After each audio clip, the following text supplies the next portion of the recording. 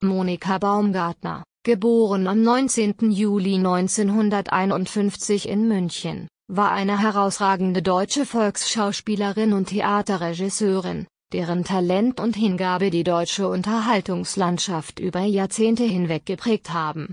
Mit ihrer unverwechselbaren Präsenz und ihrem außergewöhnlichen schauspielerischen Können hat sie sich einen festen Platz in den Herzen von Millionen von Zuschauern erobert und sich als eine der angesehensten Persönlichkeiten in der deutschen Theater und ihre Karriere begann bereits in jungen Jahren, als sie ihre Leidenschaft für die Schauspielerei entdeckte. Nachdem sie ihre Ausbildung abgeschlossen hatte, trat sie zunächst am Theater auf und erlangte schnell Anerkennung für ihre beeindruckenden Bühnenpräsenz und ihre überzeugenden Darstellungen verschiedener Rollen. Ihren Durchbruch im Film feierte Baumgartner mit herausragenden Auftritten in einer Vielzahl von Produktionen, sowohl in Fernsehfilmen als auch auf der Kinoleinwand. Ihrer Fähigkeit, sich in unterschiedlichste Charaktere einzufühlen und diese mit Leben zu füllen, machte sie zu einer gefragten Schauspielerin die sowohl in dramatischen als auch in komödiantischen Rollen überzeugt. Als Theaterregisseurin hinterließ Monika Baumgartner ebenfalls ihre Spuren und trug dazu bei, das deutsche Theater zu bereichern und zu beleben. Ihre Inszenierungen waren geprägt von Einfallsreichtum, Leidenschaft und einem tiefen Verständnis für die Kunst des Theaters. Baumgartners Vermächtnis reicht jedoch weit über ihre professionellen Erfolge hinaus. Sie war nicht nur eine talentierte Künstlerin, sondern auch eine warmherzige und engagierte Persönlichkeit, die sich für soziale und kulturelle Belange einsetzte und damit das Leben vieler Menschen bereicherte. Monika Baumgartner wurde als Tochter der Buchhalterin Gertrud Baumgartner, geboren im Jahr 1927 oder 1928, und des Postbeamten Friedrich Baumgartner in München geboren. Sie wuchs zusammen mit ihrer Schwester und ihrem Bruder auf und wurde von ihren Eltern in einer liebevollen und unterstützenden Umgebung aufgezogen. Die familiäre Atmosphäre und die Werte, die sie von ihren Eltern vermittelt bekam, prägten Monika Baumgartner und bildeten die Grundlage für ihr späteres Leben und ihre Karriere. Ihre Eltern ermutigten sie, ihre Leidenschaft für die Schauspielerei zu verfolgen, und unterstützten sie auf ihrem Weg zum Erfolg. Monika Baumgartner hat viel von ihrer Familie gelernt und ist dankbar für die Unterstützung und die Liebe, die sie während ihrer gesamten Lebensreise erfahren durfte. Ihre Familie spielte eine wichtige Rolle in ihrem Leben und stand ihr in allen Höhen und Tiefen zur Seite. Nach ihrer Ausbildung an der renommierten Otto Falkenberg Schule von 1969 bis 1972 begann Monika Baumgartner ihre Theaterkarriere. Ihr erstes Engagement trat sie 1973 am Nationaltheater Mannheim an, wo sie sofort mit ihrer beeindruckenden Darstellungskunst Aufmerksamkeit erregte.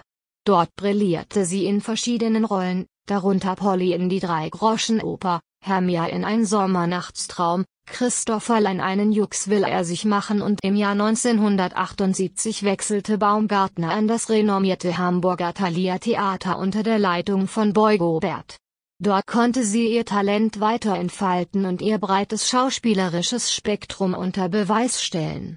Ihr Debüt am Thalia Theater gab sie als Simba in der Marquis von Kies. Von 1983 bis 1986 war Baumgartner Ensemblemitglied an den Münchner Kammerspielen, einem der renommiertesten Theater in Deutschland.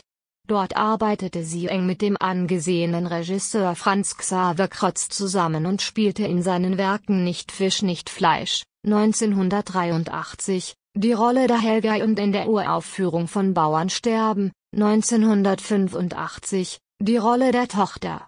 Kreuzstücke waren bekannt für ihre realistische Darstellung des einfachen Lebens und seiner Herausforderungen, und Baumgartner überzeugte das Publikum mit ihrer authentischen Darstellungskunst und ihrem Team. Die Theaterengagements von Monika Baumgartner prägten ihre Karriere und festigten ihren Ruf als eine der führenden Volksschauspielerinnen Deutschlands. Ihre eindrucksvollen Auftritte auf der Bühne werden noch lange in Erinnerung bleiben und ihr Vermächtnis als herausragende Theaterkünstlerin weiterleben. Die Nachricht vom plötzlichen Ableben der talentierten Schauspielerin Monika Baumgartner hat die Herzen ihrer Fans und Kollegen zutiefst erschüttert und in tiefe Trauer gestürzt.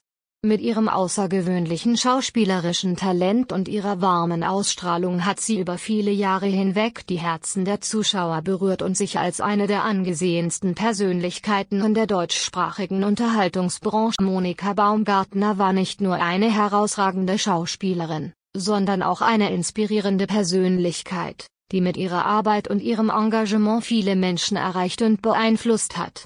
Ihr Vermächtnis reicht weit über ihre Rollen auf der Bühne und vor der Kamera hinaus und wird noch lange Zeit in Erinnerung bleiben.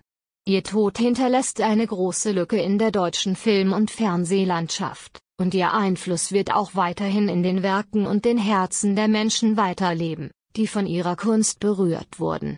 In dieser Zeit der Trauer und des Abschieds sollten wir uns daran erinnern, die außergewöhnliche Karriere und das Vermächtnis von Monika Baumgartner zu würdigen und zu feiern. Auf Wiedersehen, Monika Baumgartner. Möge ihr Erbe als Schauspielerin und als Mensch, der mit Herz und Seele für seine Überzeugungen einstand, weiterleben und als Quelle der Inspiration für zukünftige Generationen dienen. Es furchtbar war und habe dir deine Puppen immer kaputt gemacht oder irgendwas, weil ich ja immer mit den Jungs gespielt habe und traue die mit Puppen. Und ähm, das weiß ich noch. Oder deine Schuhe habe ich kaputt gemacht, die habe ich mir ausgeliehen, die du von deinem ersten Geld äh, gekriegt hast. Da bin ich im Deutschen Theater die Treppen runtergefallen damit und habe ihr das nicht gesagt. Sechs, äh, weiß ich noch, so beige Schuhe mit Sechskant Absatz. hohen Absatz. Und den habe ich dann beide ruiniert und lauter so Sachen habe ich gemacht. Also ich war, glaube ich, ganz eine furchtbare Schwester. War, war sie so? Also so ganz furchtbar war es nicht, aber sie war schon, äh, es war nicht immer einfach, sage ich jetzt einfach mal. Aber ich denke, dass ihr eher vom Naturell eher ein bisschen ruhiger bin und eher ein bisschen geduldiger bin, da hat es dann schon hingehört. Da genau. gab es nicht so viele Konfrontationen und Meinungsverschiedenheiten. In ihrer Jugend verbringen sie viel Zeit miteinander. Sie tanzen gerne und sind aktiv in der Mosacher Prinzengarde. Dort zieht sich Monika eine Verletzung zu, über die sie sich zunächst keine Gedanken macht sind uns auch noch heute sehr nah und oft haben wir zur selben Zeit Hörer in der Hand gell, ja. und rufen uns an oder sind auch beide mal zur selben Zeit die Treppen runtergefallen, Traudi hier, ich in Hamburg. Ja, jetzt vor kurzem war ja interessant, da ist von meinem Kühlschrank Scharnier kaputt gegangen, habe ich noch nie gehabt in den Jahren nicht telefoniere mit meiner Schwester, sagt sie, bei mir ist auch das Kühlschrankscharnier kaputt. Mein Kühlschrankscharnier ist kaputt, die wäre wahnsinnig. Die weil Tür schließt nicht mehr von allein. Es ist, äh, ja, es ist wirklich unglaublich, weil das eine habe ich auch noch nie gehabt und du auch nein, nicht. Nein. Und dauernd piepst mein Kühlschrank, weil dieses Scharnier nicht mehr schließt. Und das kann man auch nicht ölen oder da kann man auch nichts machen, das muss man austauschen.